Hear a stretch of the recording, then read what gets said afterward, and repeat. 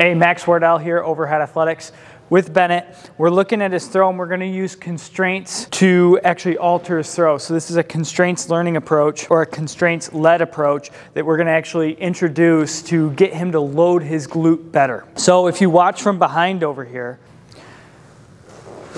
and you'll see from that angle that he likes to bring that knee forward and load that knee forward. But if you watch him from directly behind, what you'll see is that he doesn't actually load his glute very well at all. He loads quite a bit into the quad as he goes forward and stays pretty upright with the trunk as he starts to go.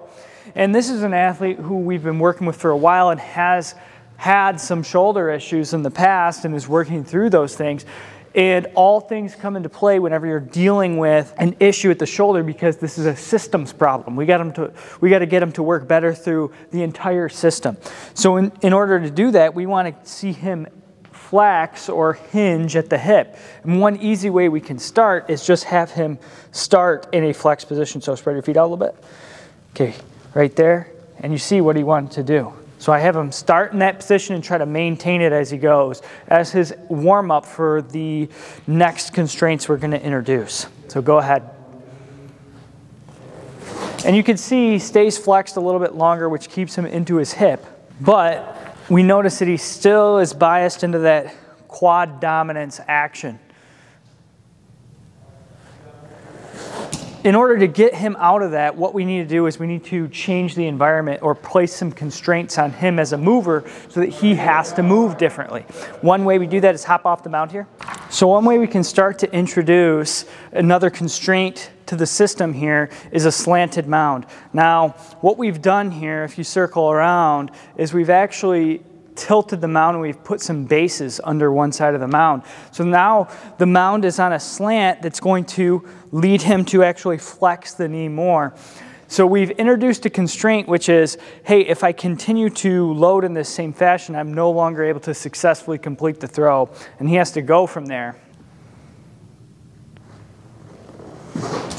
And we'll just let him get some reps in. And then we're going to actually constrain him further by disallowing him or preventing him from getting into the same position that he was in before, forcing him to go into more of a hip hinge position through various constraints on him.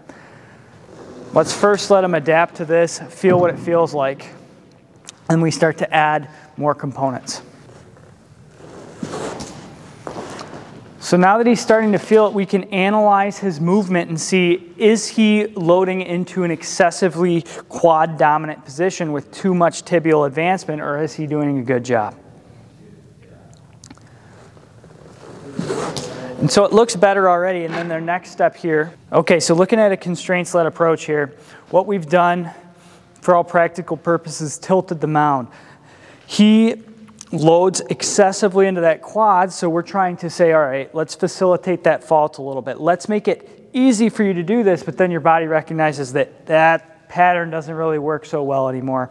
It's no longer a successful or a usable strategy for me.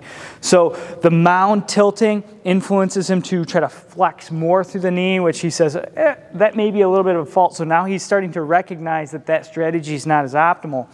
And then we're going to constrain them. So another use of the aqua bag here is essentially as a cone. So you're going to get up on the mound, like you're going to get set.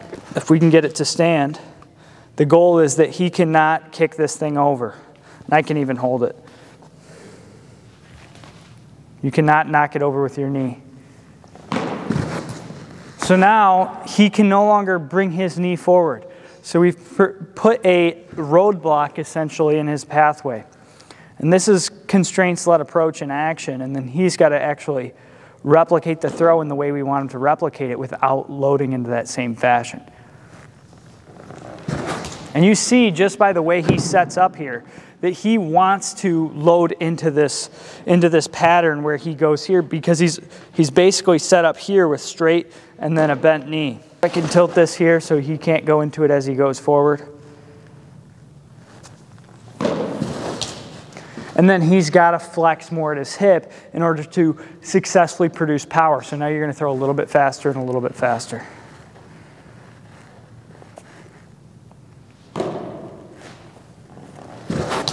Good. A little bit more. So keep adding speed.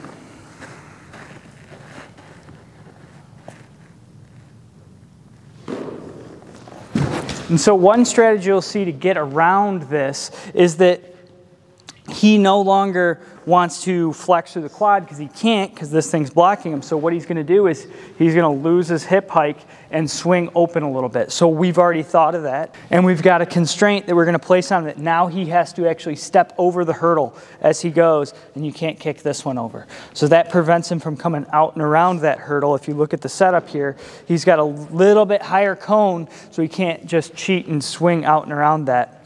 And then we throw our initial preclusion to that fault back up here. Now he has to replicate this throw in a more desirable fashion. Okay, so you're going to give me about 10 of those. And I give him a sufficient repetition so that he has to actually make a change in the way that he's moving. Make sure that your ball is hitting eye level in the net. And we can give him a target there. And what we often do is have our athletes throw it uh, a long distance or throw it a 60 foot 6 inches like they're pitching with these same constraints so that they have to replicate them in an environment that's closer to what's going to be required of them in the game so they can make changes to their throw in that pattern. Nice. Don't kick it over.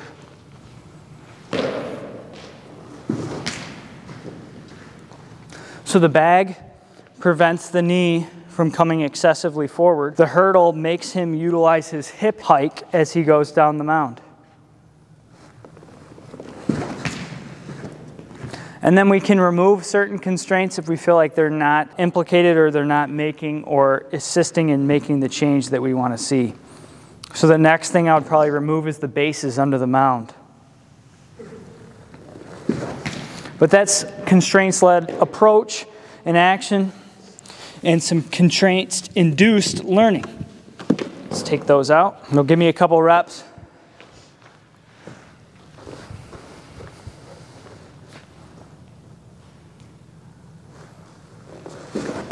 Beautiful. So that's how we start to utilize a constraints-led approach to improve hip loading away from a quad loaded position, but this is the same idea and the same sort of system that we may use with any number of different biomechanical inefficiencies or movement flaws. Nice. Very good. If you guys like the video, hit the thumbs up, subscribe to the channel, and we'll see you guys in the next one. Overhead Athletics signing off.